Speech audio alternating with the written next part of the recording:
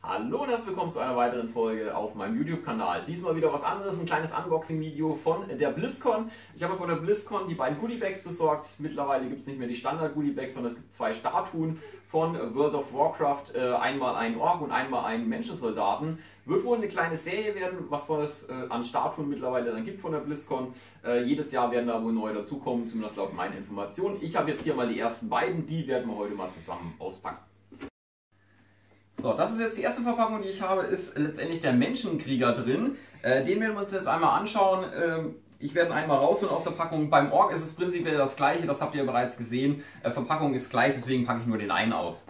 So, holen wir ihn einmal raus. Bei Blizzard ist das Ganze immer sehr, sehr gut verpackt. So, einmal hier.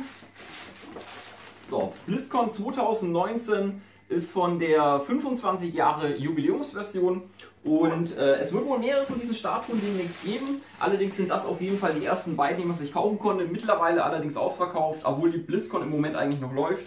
Aber man bekommt sie wirklich nur noch dort im Moment und kann sie nicht mehr vorbestellen. Ich habe sie mir vorbestellt und herliefern lassen. Kam auch tatsächlich einen Tag vor der BlizzCon sogar an bei mir. So, ich hole sie jetzt einmal raus. Sie sind sehr, sehr gut verpackt, deswegen werde ich nochmal einen kleinen Schnitt auf jeden Fall setzen. Äh, ja, Verpackung von Blizzard immer optimal, allerdings es dauert ewig, das Zeug rauszuholen. Wir sehen uns dann gleich wieder. So, das sind jetzt beide Figuren ausgepackt. Letztendlich einmal den Ork, einmal den Menschenkrieger, was wir hier haben. Äh, ich muss sagen, die Figuren, es wirkt ein bisschen arg billig, das Plastik diesmal. Figurenpreis pro Figur waren es 45 Euro plus den Versand jeweils. Es wurde auch beides komischerweise nicht in einer Packung geliefert, obwohl ich beide gleichzeitig bestellt hatte, sondern es wurden einzeln geliefert.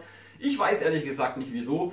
Äh, ja, ich habe mir für 45 Euro tatsächlich ein bisschen mehr erhofft. Es ist so ein, es ist dieses Spielzeugplastik. Ich kann es nachher, ich werde noch mal kurz was reinschneiden dann von äh, Ragnaros aus der 15 Jahre World of Warcraft Collectors Edition, die es gab. Da habe ich auch ein Video dazu aufgenommen, das könnt ihr euch gerne mal anschauen. Da ist die Qualität vom Plastik tatsächlich viel, viel hochwertiger. Das ist mehr so eine Art ja, Figurenplastik, Gipsplastik. Äh, das hier ist tatsächlich mehr so, ja, magisch Spielzeug. Äh, ist aber ganz okay, also für 45 Euro ein bisschen besser wäre drin gewesen, glaube ich. Da haben sie sich nicht ganz so viel Mühe gegeben, aber prinzipiell sehr, sehr coole Figuren. Relativ äh, detailliert auch das Ganze, wirkt aber halt so ein bisschen arg nach Spielzeug und ja, ich will es eigentlich mehr als Sammlerobjekt haben. Dafür wirkt es ehrlich gesagt ein bisschen als Fehl am Platze.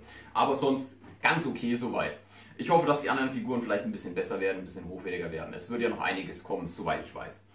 Das war es jetzt auf jeden Fall erstmal für dieses kleine Video. Ich hoffe, ihr hattet Spaß damit. Wenn dem so ist, lasst mir ein Gefällt mir da. Schaut mal gerne bei meinen anderen kleinen Vlogs vorbei. Und ja, vielen herzlichen Dank. Bis die Tage. Macht's gut.